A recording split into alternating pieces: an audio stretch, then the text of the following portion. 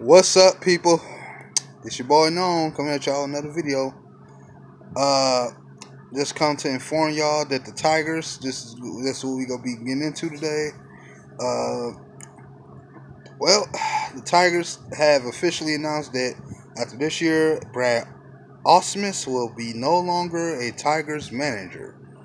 Uh, they announced that today. They decided to move on. I think his contract. I'm not sure if I'm correct ran through 2017 and he's no longer coming back. That was made by Al Avila.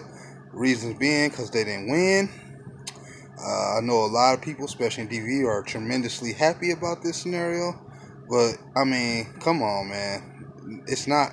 Yeah, he to blame for some of the stuff, but I mean, come on, man. I think Al Avila himself has a little bit to do with it. Uh, kind of make you miss Mike Ilitch. I'll tell you that much. It's kind of make you miss Mike Ilitch running the scenario. I'm sorry, excuse me. Uh, thing is, man, I know everybody didn't like Brad Ausmus. I I don't know sport baseball that entirely great. I'm still getting into it because, like I said, it's a long ass game to watch. And you know, but you know, my thing is, I don't know if he's to blame for every single little drip of a thing. Yeah, he's to blame for a lot of stuff. It's a lot of stuff Brad Ausmus has did. I know I was about to say Brad Asmus because that's what a lot of people call him. But you know, I mean, hey, uh, some stuff they can be blamed on the talent we had through here as well.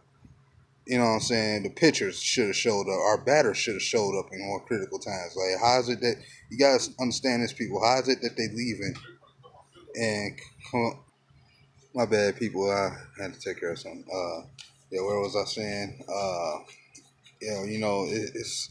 I mean, it's what you expected. I expected this to happen. I just didn't expect it to, you know, come and hear this today. You know, when I woke up today, I didn't expect to hear this. But uh, yeah, man, you know, I mean, at the end of the day, like I said, he can be blamed for some stuff, and it's a lot of stuff he can't be blamed for. 50-50. I know a lot of old. It's a lot of old school people who don't like it, and some that I know of they don't like it. Then you know you got a lot of young guys that you know want his ass gone.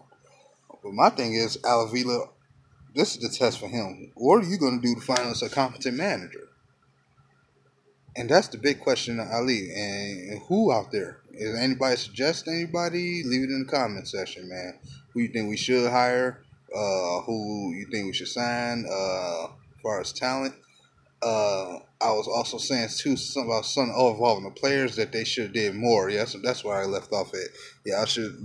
That's where they kind of you know uh, they, they should have did better. The batters, you know, you you getting y'all some of the most highest paid guys to step on the field y'all going away now to new teams balling the fuck out for what I'm hearing. And y'all cannot do this for us for some reason. Some people might blame Brad Ausmus again for somehow for that. Uh, I just leave that up in the air. I really don't care. You know, at that at this point, uh, the damage has been done.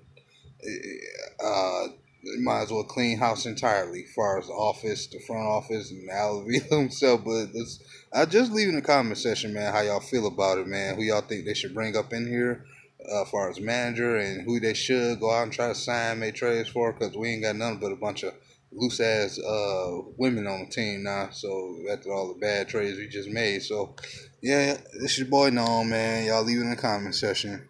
Peace.